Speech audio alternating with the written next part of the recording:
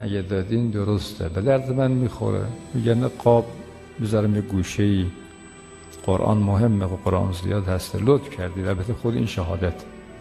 حالا سوال شرعیم از شما من در ذهن شما آدم خوبی هستم؟ معتقدین به این؟